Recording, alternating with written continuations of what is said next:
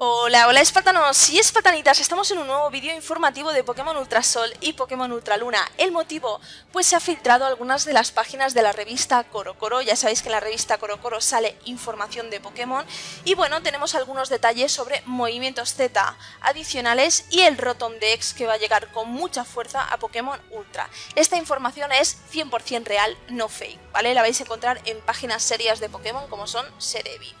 Bueno, eh, vamos a empezar por los movimientos Z. Los movimientos Z están relacionados con los legendarios Solgaleo y Lunala y con las formas de Necrozma. Entonces, tanto Solgaleo como Necrozma Melena Crepuscular utilizarán el Meteo Impacto para transformarlo en el movimiento Z Sunshine Smasher. De momento los nombres son provisionales, ¿vale? Son traducciones del japonés. Eh, por otro lado, Lunala y Necrozma Alas del Alba utilizan el movimiento Rayo Umbrío para transformarlo en Moonlight Blaster. ¿De acuerdo? No sabemos las características, ya sabéis que los movimientos Z no solo están ahí para hacer algo, sino que ofrecen diferentes características, ¿vale? De momento no tenemos más información.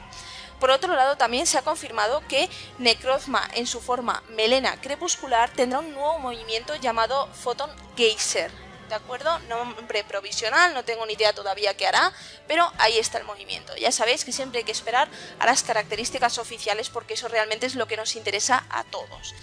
Eh, además, se ha confirmado que Necrozma en sus dos formas tendrá como habilidad la armadura Prisma. ¿De acuerdo? Esta es la información que tenemos relacionada con los movimientos Z.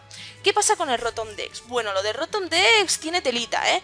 Básicamente vamos a poder interactuar más con el Rotom Dex y tendrá nuevas características. De hecho, a medida que nuestra afinidad eh, vaya avanzando con el Rotom Dex, ojo cuidado porque podremos desbloquear funciones como la posibilidad de usar varios movimientos Z en batalla ¿Cómo os quedáis? Varios movimientos Z en batalla. Hay que tener en cuenta que los movimientos Z son muy chetos, o sea, hacen mucha pupa.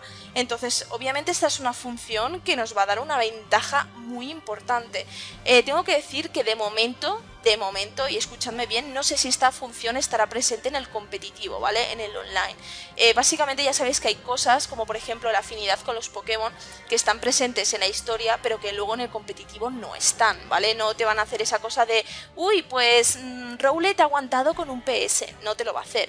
Entonces, eh, de momento no tengo ni idea de si esto se va a aplicar a todo o simplemente a la historia, que tú irás incrementando la afinidad con el Rotom Dex, podrás usar varios movimientos Z por combate, pero tan solo durante la historia. Yo apuesto más que será esto, pero de momento lo dejo en el aire, ¿vale? Porque no tengo la información oficial.